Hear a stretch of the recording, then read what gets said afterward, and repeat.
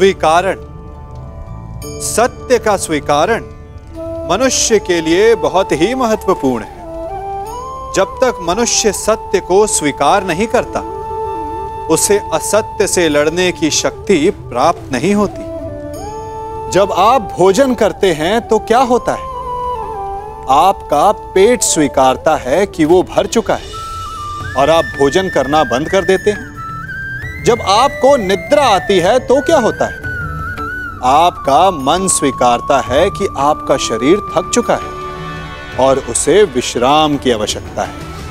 उसी प्रकार, जब आपको किसी व्यसन को रोकना हो तो आपको स्वीकारना पड़ता है कि बहुत हो चुका चाहे वो लालच हो या मदिरा पान उस व्यसन का त्यागना तभी प्रारंभ होता है जब आप ये स्वीकार कर लेते हैं कि आप उस व्यसन के बंधक हैं।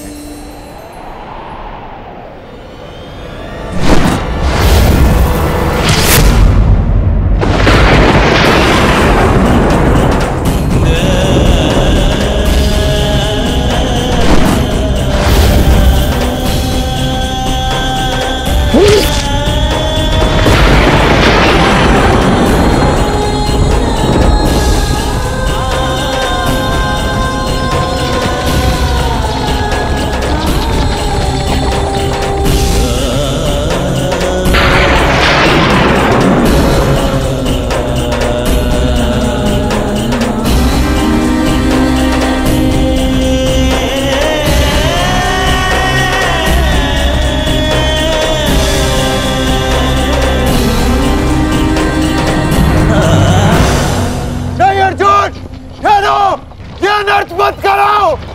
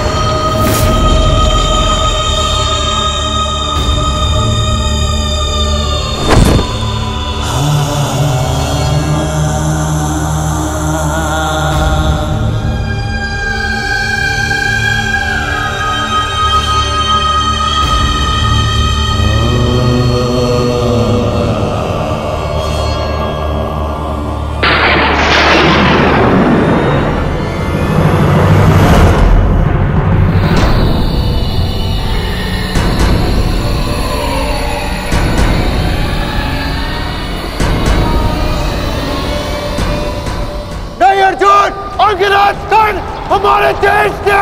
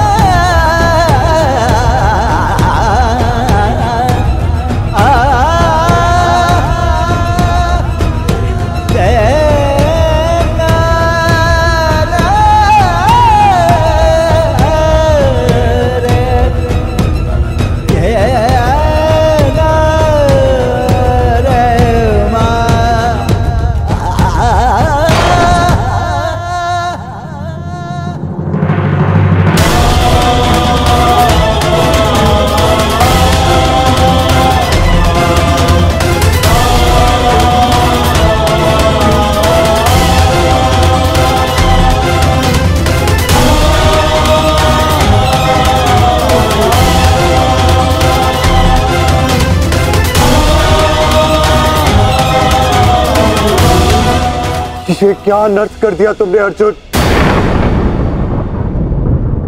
इतने वर्ष तुमने इस युद्ध को रोक कर रखा।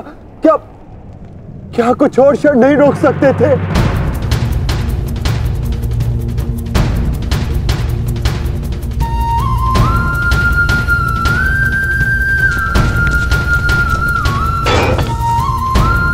ज्येष्ठ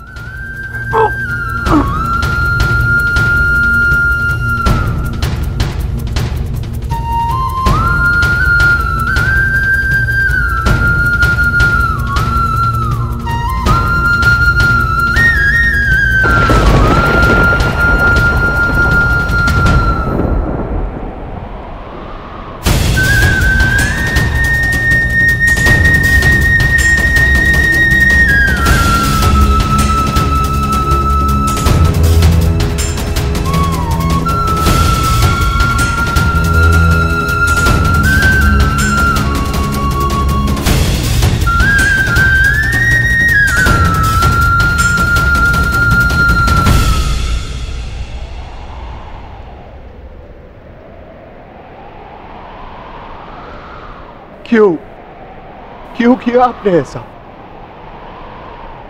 आप प्रारंभ से जानते थे ना? जानते थे ना कि आप हमारे ज्येष्ठ हैं?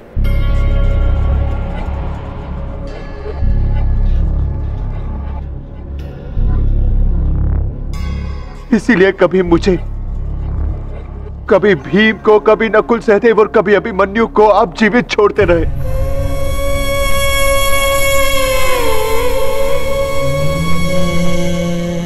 एक बार संकेत तो किया होता। ज्येष्ठ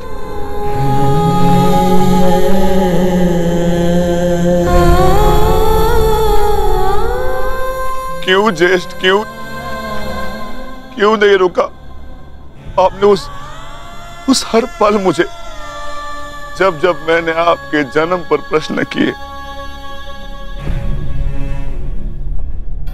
क्यों नहीं आपने अपने बाणों से मेरा मुँह सील दिया। क्यों ज्येष्ठ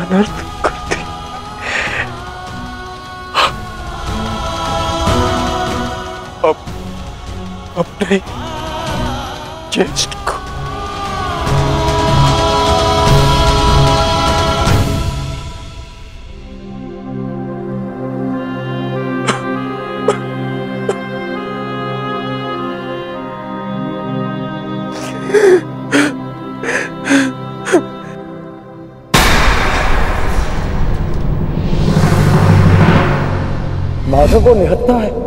नहीं, पार्थ। यदि अंगराज के हाथों में विजय धनुष आ गया तो तुम कुछ नहीं कर पाओगे, पार्थ। प्रहार करो, पार्थ। अपने मार्गदर्शक की आज्ञा का पालन करो, पार्थ। प्रहार करो, पार्थ।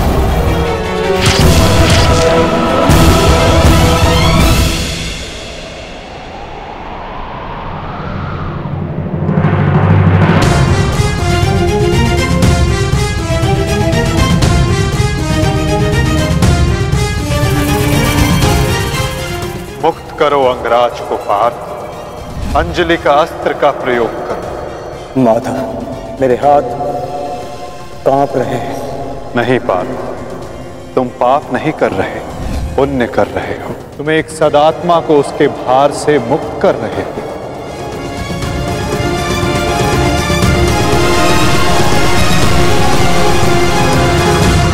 आप तो जानते थे ना?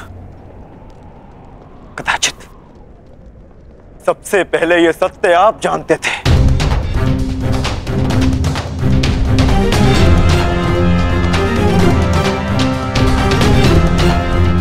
फिर क्यों? क्यों नहीं बताया आपने मुझे? क्यों ये प्रारब्ध चुनने के लिए विवश किया आपने? क्यों मेरे मस्तक पर अपने ही ज्येष्ठ के हथियारे होने का कलंक लगवा दिया आपने? क्यों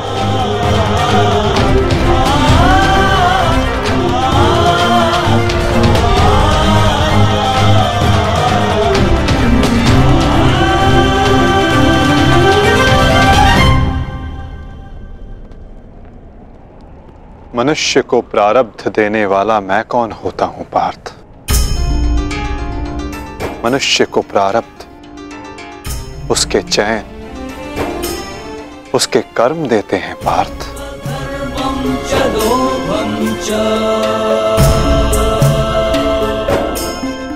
बीज में स्वस्थ मीठे फल लगेंगे, या उस बीज को सूख जाना होगा, इसका चयन बीज स्वयं करता है पार्थ। अपनी धारा चुनकर।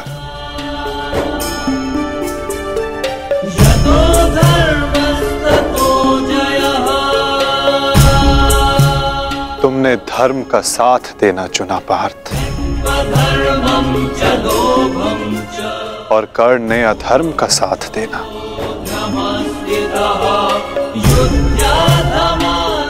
मैं क्या करता? तुमने अन्याय के विरुद्ध स्वर उठाया। और अंगराज मौन रहे।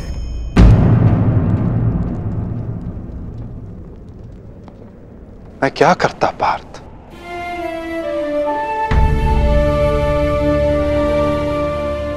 मैंने कई बार विकल्प चुनने के अवसर अंगराज को दिए, पार्थ।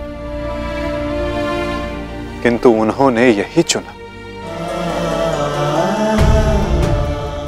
क्या करता?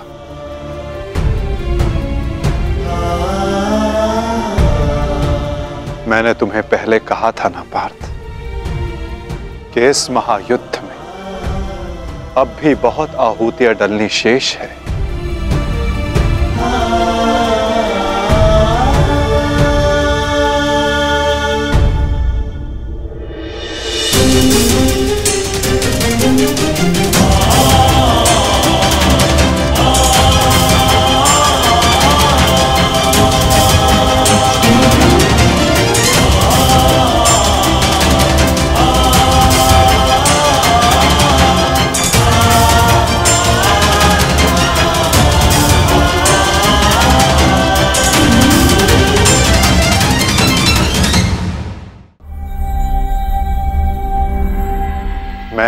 केवल तुम्हारे ज्येष्ठ को,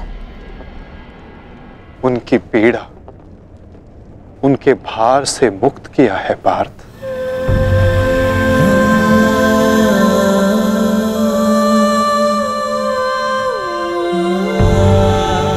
परंतु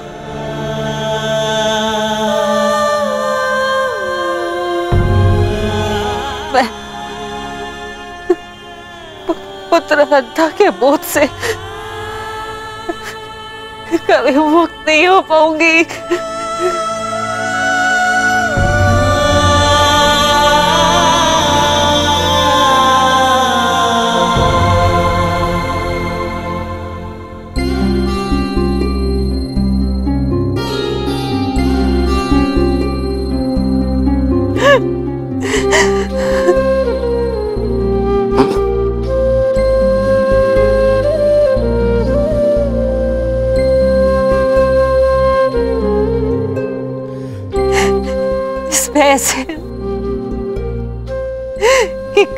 समाज मुझे ना त्याग दे। मैंने तुम्हें त्याग दिया। कि समाज कभी एक कुंवारी कन्या को स्वीकार नहीं करेगा। एक माता ने अपने हर्ष को त्याग दिया। और ये बोझ एक कांटा बनकर मेरे हृदय में चुपता रहा। और आज देखो, जब ये कांटा निकला, कैसे रक्त बह रहा है मेरा।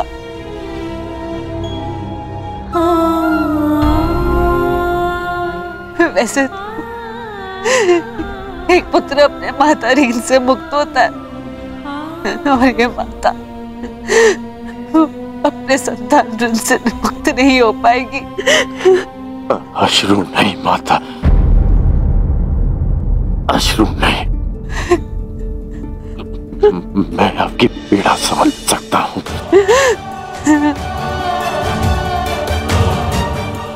मैं संसार से आपसे अपने आप से बहुत क्रोधित था। परंतु अब नहीं।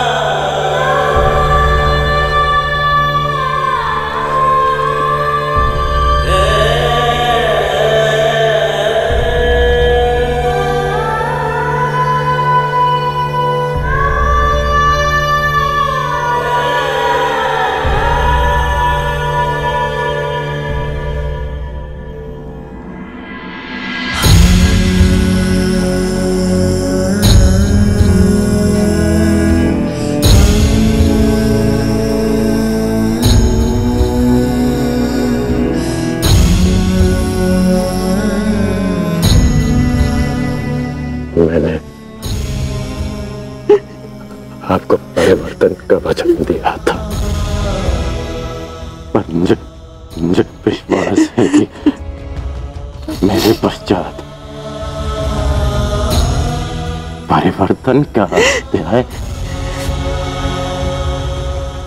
प्रारंभ होगा।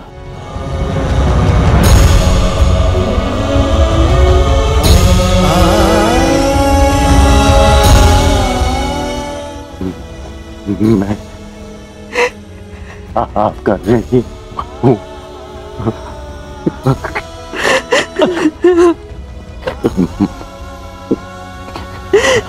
संतान सौ जन्म लेकर भी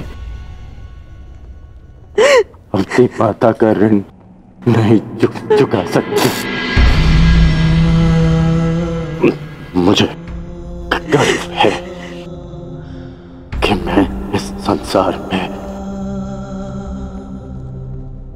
राधे कर्ण के नाम से जाना चाहता हूँ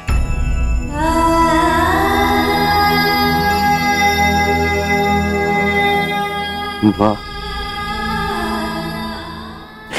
मुझे विश्वास कि मैं संसार में सदा राधे कर के नाम से जाना चाहूँगा।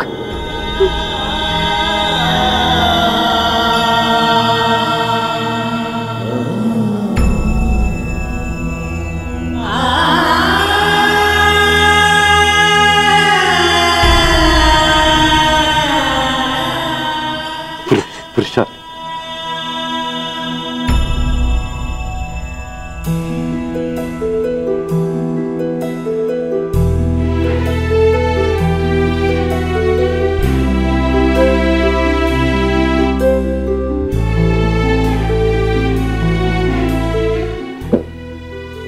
मुझे क्षमा करना। सदा मैंने साथ देने का वचन दिया है। और तुम्हारा साथ नहीं दे पाता। स्मरण है। हम पहली बार रथ के पास ही मिले थे। अंतिम बार भी छाया में ही। है अपनी अंतिम यात्रा पर निकल रहा। इस बार तुम्हें सारथी नहीं बना पाऊँगा।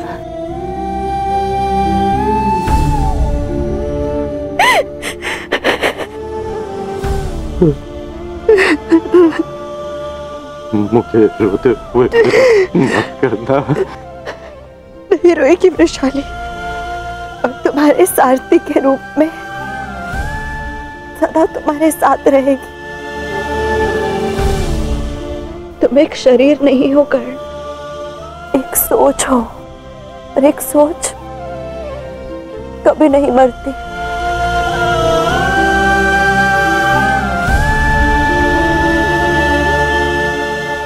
वचन देती हूँ कर मेरे अंतिम क्षण तक तुम्हारे स्वप्न को अपने आँखों में जीवित रखेगी ये वृशाली